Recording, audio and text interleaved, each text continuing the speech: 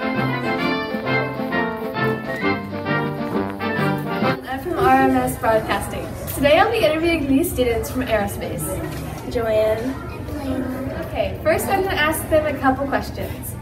Joanne, why did you sign up for this exploratory? Because I wanted to learn about space and make a design different things. Awesome. Okay, Layla, do you enjoy being a part of this exploratory? Why?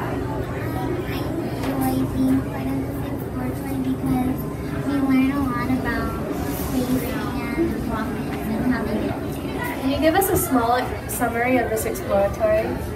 Um, well, we like we make and we make um, things and kind of learn about different rockets and um, we've kind of been talking about um, Apollo, Apollo 13. Some things that you're excited to do in this exploratory. I'm excited to Would you recommend this exploratory to others?